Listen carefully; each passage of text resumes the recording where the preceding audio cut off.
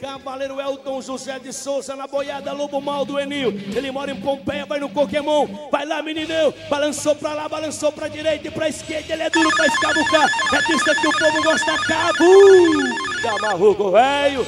Henrique Moraes. É Jorge, um dos mais premiados cowboys de montaria em touros do Brasil.